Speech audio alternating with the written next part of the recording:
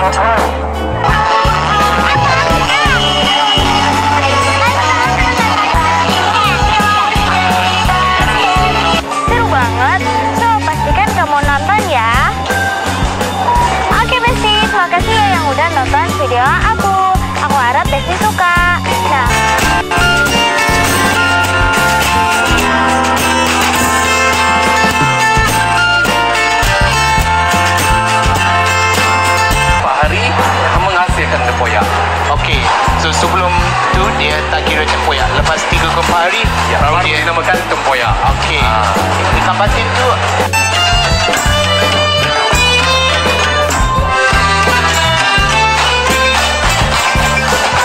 Ryan, aku aku tahu kau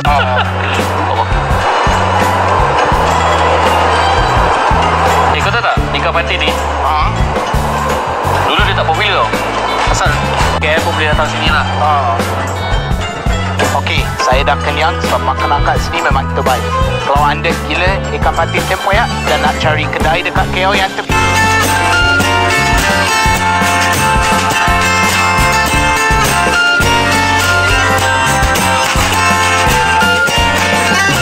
First ni memang saya datang sini untuk makan fish and chips lah. Nampaknya ada chips, ada fish dan juga ada yang ni.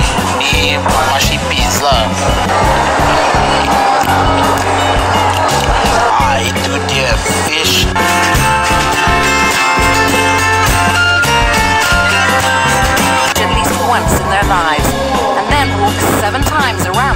around the Kaaba counterclockwise in a ritual called the Tawaf.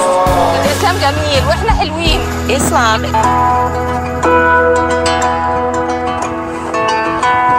The Twelve Apostles are the Great Ocean Road's most famous